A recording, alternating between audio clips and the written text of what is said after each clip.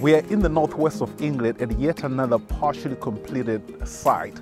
Uh, these type of sites, they are rarely on the market because they tend to be sold off market through a network of developers and people like ourselves who buy them off. So really it's about developing relationships with banks and people who are involved in sites like this so that they know that you're out there looking for, uh, for, for projects that are halfway done or that are distressed. The history of this site is that you know, the builder went bust. But the problem with sites like this, when they are left, uh, you know, incomplete, is that you know they're subject to vandalism. The house at the end, this is the detached house on the site. From my understanding, there was a roof structure already in place, uh, but then fire uh, destroyed most of the roof as well as the internals. Then you have all of these other units which are partially completed, as I've already stated, there's no roof on them. So it's a case of whatever is inside has been exposed to rain, to cold, and to whatever else has come at it for the past 12 to 18 months. So your job is to really assess if the site and the structures within it are stable. Worst case, you might actually have to bring down some of the structures if uh, there is dry rot and other things uh, of such nature. But before your eyes lit up and you start seeing the profit out of a site like this, I always throw out a word of caution to know that there's a lot of risk involved in taking on sites like this that you need your to be experienced and also have all the specialists around you to help you assess the risk you're taking on so that ultimately you can put the right level of margins in the offers as well as in your build budget.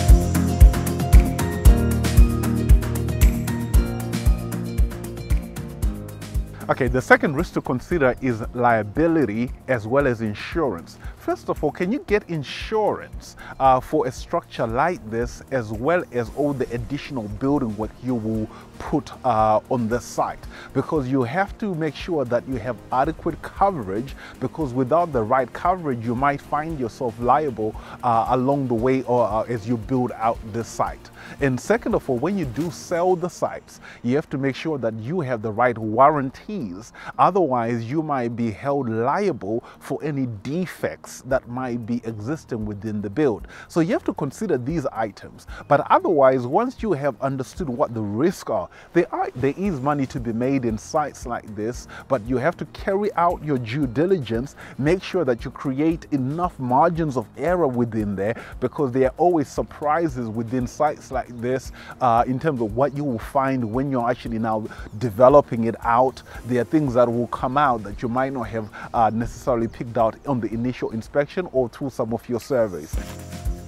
Okay, as you can see, this is all exposed timber, which can easily start rotting if it's not protected. Uh, I don't see anything major to, to consider in terms of the beam structure, but nevertheless, that's from just the naked eye. But the moment you actually start having a structural survey, you might actually find out a few things uh, are actually wrong with the site itself that needs to be taken into consideration on how you approach it. So let's say you have gone through all the details on this site and you have costed it up and assessed exactly how much you need to put into it to finish it, one of the key consideration is that you have to look at the documents that are attached to the site itself. So that's the title plan.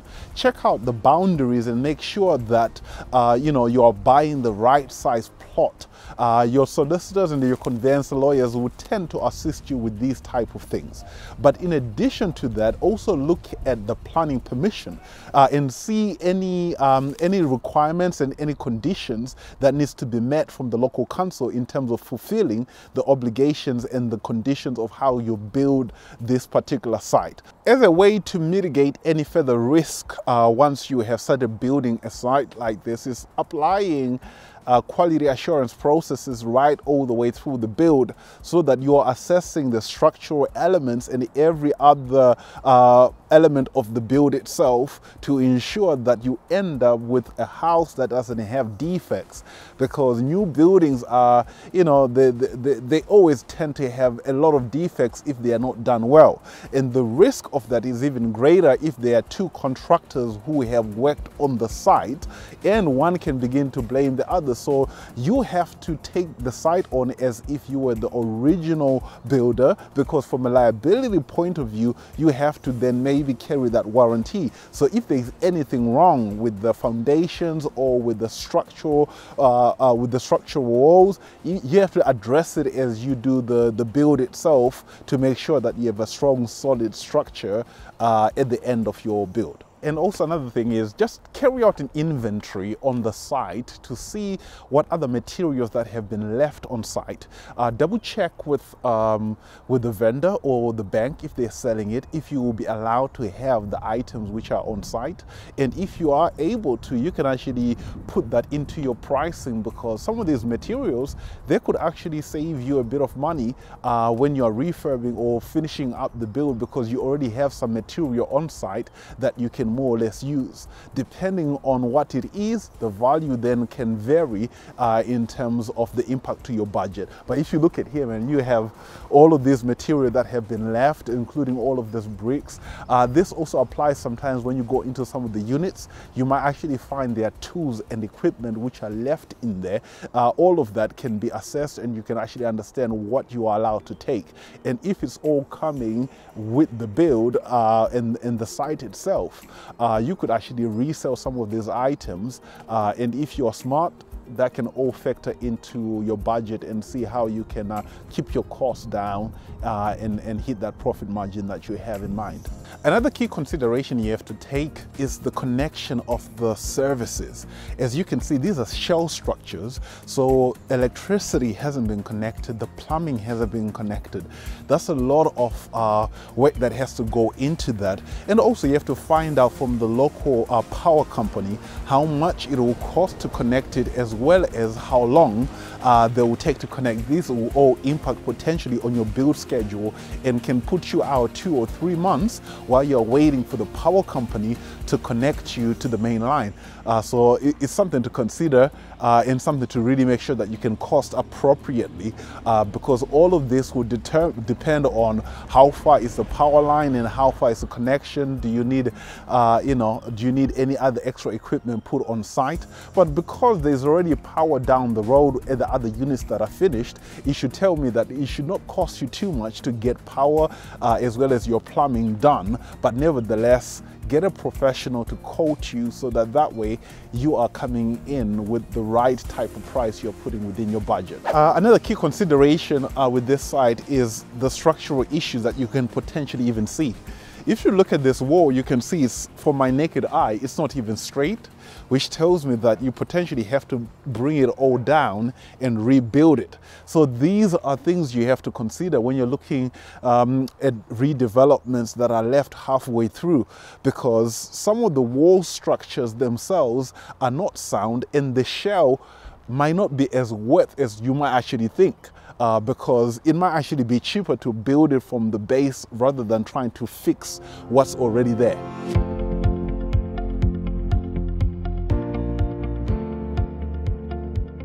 So this is one of the you know, completed units. It's partially completed because there are a few things that probably just needs to be done.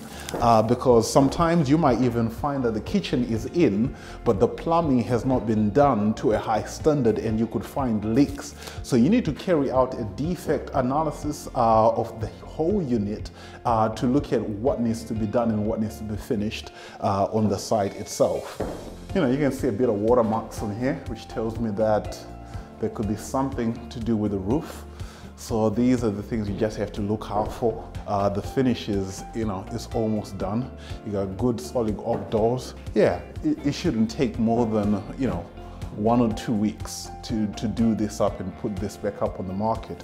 Okay, so let's just go through and look at the, the rest of the unit.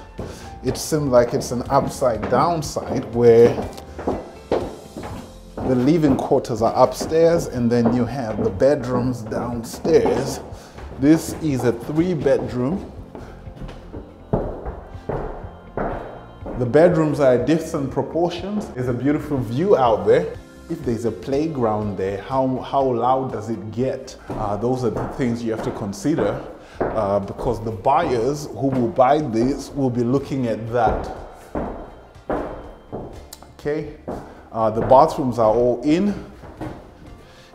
actually have quite a large family bathroom within these, um, these units. They will lend themselves to a family and you can see that there could be potential buyers and renters uh, within, uh, within the local area. But as you have seen outside, the biggest job is to try to get all of those other units finished. You have three uh, units uh, that are standing in shell condition, one which is bent down, and then you have about three other ones which actually needs to be built from the ground. So it's a, it's a, it's a, it's a delicate balance you have to take on these type of sites. This house, within a month of getting the site, you can potentially rent it out, but then you have the rest of the work outside, which may take you a bit of while to get, uh, to get finished. Uh, there you go, another site that needs to be completed. I hope you have uh, picked up a few tips from that video. Um, subscribe, comment, like, so that that way we can keep bringing you content like this to help you make your investment in property much more informed. I'll see you next time.